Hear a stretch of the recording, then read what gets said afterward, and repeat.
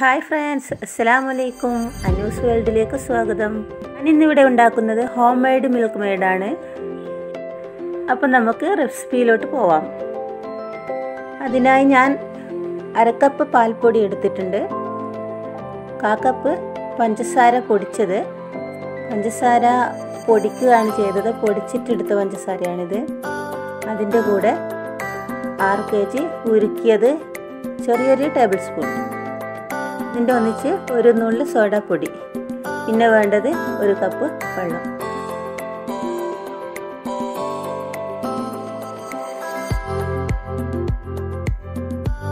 ഇനി ഒരു കപ്പ് എടുക്കുക.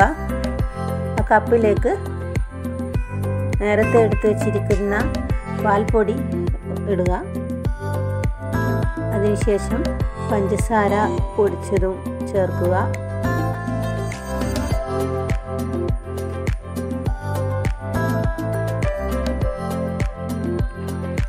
അതിനുശേഷം നേരത്തെ എടുത്ത് വെച്ചിരിക്കുന്ന സോഡാപ്പൊടി ഒരു നുള്ളി സോഡാപ്പൊടി ഇടുക.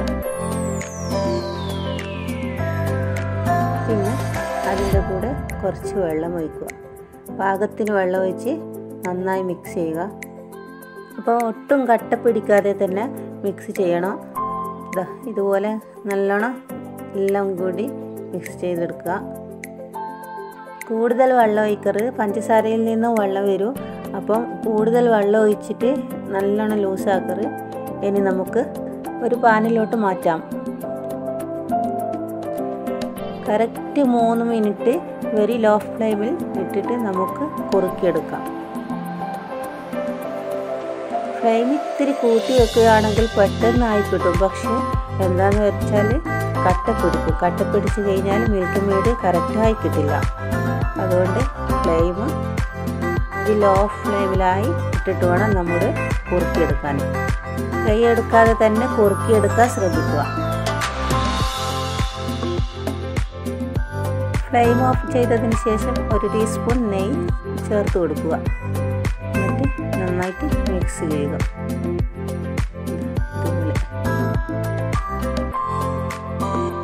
അങ്ങനെ മിൽക്ക് മെയ്ഡ് ഇവിടെ റെഡിയായി ഞാനിതിപ്പോൾ ഉണ്ടാക്കിയത് ബ്രെഡിൽ ബ്രെഡും കൂട്ടി കഴിക്കാൻ വേണ്ടി ഉണ്ടാക്കിയതാണ്.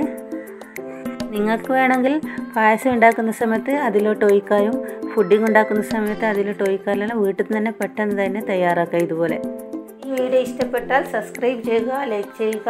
ഓക്കെ താങ്ക് യു അടുത്ത വീഡിയോയുമായി വരുന്ന